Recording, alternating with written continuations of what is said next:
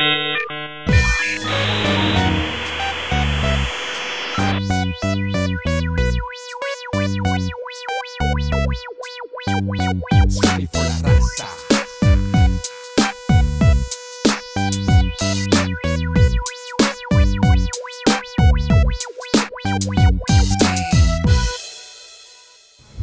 Incontri, mare, amici anche quest'anno per la quarta edizione del meeting dei giornalisti cattolici e non a Grottammare. Uno scenario bellissimo accompagna i protagonisti in questi tre giorni intensi di lavori e noi vogliamo ascoltare alcune delle loro riflessioni a proposito del tema di quest'anno. Tutto il mondo è intimamente connesso. Simone Incicco, un nome e una garanzia per il meeting dei giornalisti cattolici e non, soprattutto e non è la caratteristica di quest'anno. Simone, qual è il segreto di questo successo che ormai da quattro anni si ripete?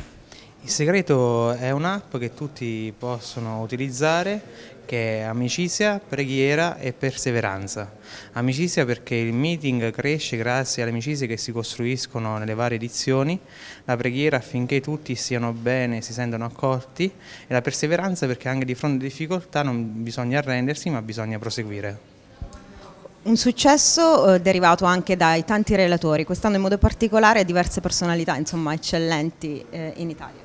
Sì, abbiamo avuto l'apertura dei lavori con Monsignor Viganò che ha parlato della riforma della comunicazione in Vaticano, poi tantissimi veramente ospiti illustri, abbiamo avuto la chiamata in diretta del Presidente Tajani e abbiamo avuto il direttore delle relazioni istituzionali RAI Ferragni e adesso sta parlando, sta concludendo l'arcivescovo Pizzaballa di Gerusalemme ascoltiamo, lo ascoltiamo, ci diamo poi appuntamento al prossimo anno. Con molto piacere, grazie. grazie, grazie. Siamo nel periodo di grandi cambiamenti, cambiamenti epocali, però non sappiamo come andranno a finire, non sappiamo come evolveranno, è ancora difficile poter dire come sarà il Medio Oriente che abbiamo uh, tra 4 o 5 anni, come sarà l'Egitto, come sarà la Siria, l'Iraq, anche la Giordania, il Libano, non ne parliamo. Per quanto riguarda il piccolo lembo di terra che è nominato la Terra Santa, Israele e Palestina, tanto per intenderci, insomma, per definire ecco, dove ci troviamo, ecco, eh, apparentemente non ci sono cambiamenti epocali, ecco, siamo lì, la situazione è tutta ferma, diciamo, non dico incancrenita, però è, è bloccata, non c'è nessun negoziato in corso, non c'è nessuna trattativa, non c'è niente. Ecco, c'è la politica dei fatti sul territorio, fatti sul terreno, fatti compiuti, insomma questo eh, crea eh, grande instabilità, grande incertezza dal punto di vista delle prospettive politiche, da un lato Israele si sente molto forte, dall'altro lato i palestinesi sono deboli e divisi, questo non aiuta certamente. Eh, la ideologia di Daesh, di ISIS, non c'è in Terra Santa, o meglio, ISIS non c'è in Terra Santa come presenza fisica, ma l'ideologia eh, estremista è arrivata anche lì purtroppo, non soltanto tra i musulmani, eh, vediamo anche forme di estremismo sempre maggiore anche all'interno del mondo ebraico e questo crea, è fonte di grande preoccupazione uh, per le piccole minoranze soprattutto per noi cristiani. Insomma, ecco.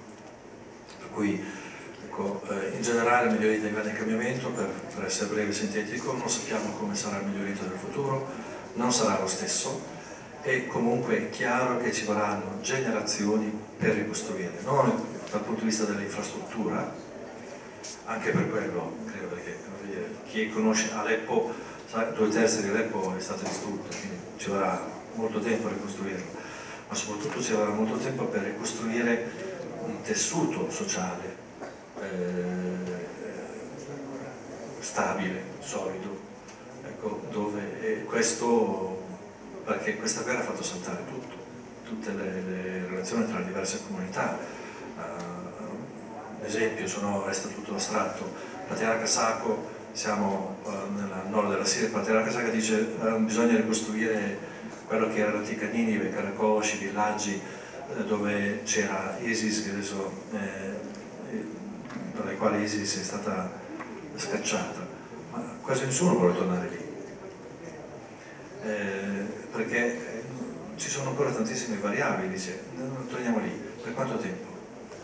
Cosa sarà il futuro? Chi governerà lì? Ecco, eh, quelli che sono entrati nelle nostre case non erano solo quelli di Daesh, erano anche i villaggi vicini. Ecco, eh, cosa faranno i nostri figli? Quale scuola? Che lavoro avranno? Ecco, sono dire, tutto da ricostruire, eh, sono situazioni oggettivamente molto complesse. Ecco, l'anno scorso cambio, cambio dire insomma situazioni molto diverse, veniamo a Betlemme, ecco l'anno scorso nel 2016 da Betlemme sono partite definitivamente 126 famiglie cristiane, 126, 126 o 28 non ricordo bene, con circa 500 persone. Ecco, chi parte eh, sono quelli che hanno i figli, eh, perché i genitori vengono per i figli come dappertutto, penso, insomma, come è giusto e normale che sia. E dicono, tra qualche anno qui cosa ci sarà? Chi governerà?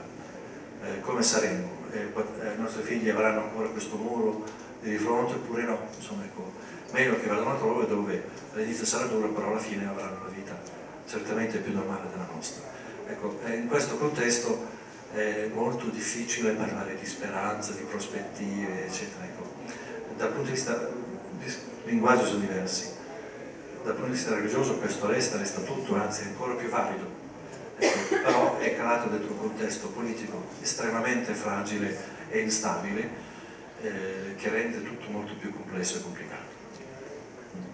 Ecco Padre Battista, nelle pieghe delle sofferenze di, di, di, di, questa, eh, questo lembo di terra che è la Terra Santa, il Medio Oriente in generale, eh, vivono delle comunità cristiane che eh, seppur unite da, dall'unica fede sono diverse nella, nei, nei, riti.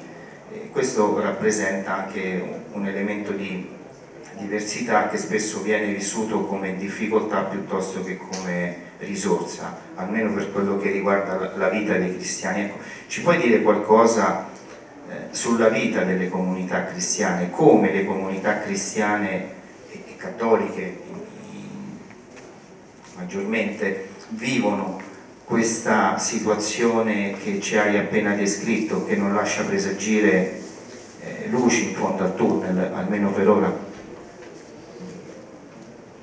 Io sono rimasto in questi ultimi anni eh, molto colpito, positivamente colpito dalla testimonianza che le comunità cristiane danno.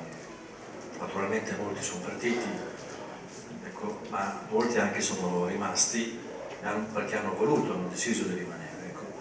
E do qualche esempio. Eh, durante eh, il periodo della guerra, il periodo peggiore della guerra ad Aleppo, ecco, le, tutti i giovani delle comunità cristiane, apro una parentesi se no non si capisce, durante il periodo peggiore della guerra eh, il problema principale per la città di Aleppo era l'acqua, non c'era acqua, l'acqua era tagliata perché le fonti erano sotto il controllo di ISIS, quindi non c'era acqua.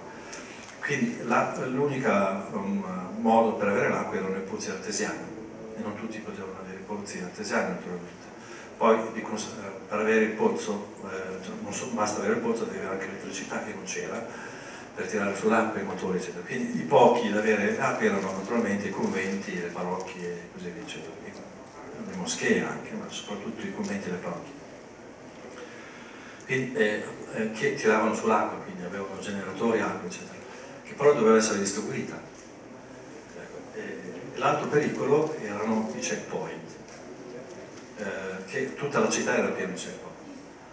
Eh, c'erano due pericoli, uno perché tu non sai chi c'è di là, potrebbero essere i militari regolari, potrebbero essere i ribelli e così via, eccetera. E ti, ti, prendevano sia gli uni che gli altri. I ribelli ti prendevano perché eri nemico, quindi ti ammazzavano se non andavi con loro. I regolari ti prendevano perché, soprattutto se eri giovane, non andavi a fare il servizio militare, che era il terrore per i giovani. Nonostante questo, nel periodo peggiore, ecco, i giovani a turno, tutti a gruppi naturalmente, con i camioncini delle parrocchie, andavano in giro a portare l'acqua a tutti, eh, ecco, per sostenere, eccetera. Non, non sono gesti scontati. Ecco. E ancora oggi eh, ci sono due, villaggi, due parrocchie rimaste attive con il loro sacerdote nel nord della Siria, Cnai e Jacobi, eh, che sono sotto controllo di quello che era la vecchia Al-Nusra, dove è proibito avere statue, eh, croci, simboli, tutto, ma non si può, lì sei sotto il controllo dell'Islam radicale. Ecco, questi, eh, questi, villaggi cristiani sono rimasti, sono rimasti eh, e nonostante la proibizione totale di simboli religiosi non hanno permesso a questi fanatici di toccare loro simboli, li hanno seppelliti loro. Il vino è proibito, come sapete nell'Islam non si può essere alcol, però non rinunciano all'Eucaristia, nascondono il vino ogni settimana una famiglia diversa per continuare a bere il vino per l'Eucaristia. Insomma, sono tutti gesti, porto due di tantissimi esempi, che conosco personalmente, ho avuto constatato personalmente, che dicono questo, questi sono i cristiani nel Medio Oriente. C'è chi è partito, ma c'è anche chi è rimasto, è rimasto cristiano non semplicemente perché è rimasto cristiano, non, è, non ha abiurato, ma semplicemente perché dà la testimonianza cristiana, che, eh, che, che, è in uscita, direbbe Papa Francesco, cioè non stanno chiusi nelle loro case, ma portano l'acqua, si danno a fare, organizzano, fanno incontri, si muovono, vanno a aiutare gli anziani, preparano eh, eh, i gesuiti pasti per migliaia di persone ogni giorno e così via, insomma, con l'aiuto di tantissimi volontari. Ecco, questi sono i cristiani oggi nel Medio Oriente e nonostante le persecuzioni, nonostante eh, sia eh, assolutamente non scontato eh, rimanere cristiani in quelle circostanze, decidono che non è, sono nati cristiani, sono, hanno sempre vissuto così, ma in quelle circostanze hanno deciso di rimanere cristiani e dare la loro testimonianza. Resto convinto che il cristianesimo Oriente non sparirà, non sarà un cristianesimo trionfale, certamente non è mai stato, ma lo sarà ancora meno, ecco, però resterà eh, con tutta la sua forza, che non è quella dei numeri, perché non li abbiamo, ma è quella della testimonianza.